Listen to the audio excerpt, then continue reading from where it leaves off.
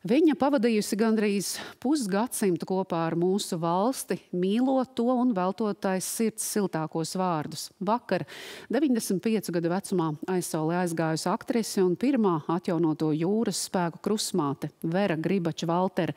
Latvija viņai bija īpašs vārds - mīlestības, lepnuma un cēlu mērķu simbols. Turpina Anda Boša.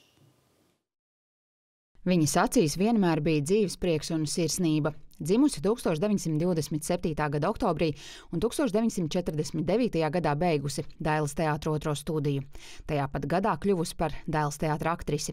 Spēlējusi gan zēnu lomas, gan sprīganas meitenes, atraisījusies raksturlomās, uzstājusies ar dzējas lasījumiem trimdas latviešu auditorijai, bet par īpašu sirdsdarbu viņai kļuva teātra anekdošu krājumi. Dievs man ir devis.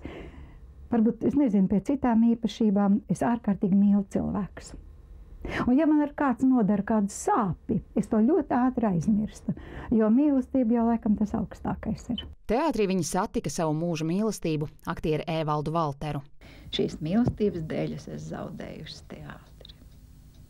Bet es esmu laimīga. Un atkal, tāpēc, ka man mīlestība iet pārdzīvē, es esmu zaudējusi.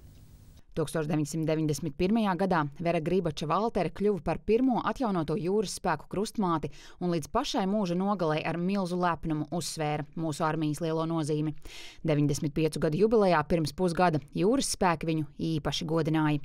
Latvija viņai nozīmēja visu. Latvija dzīvību. Dzīvību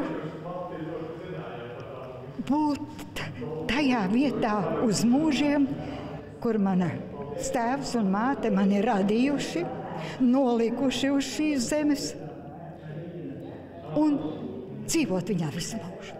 Es teikšu tomēr latviešu vārdus.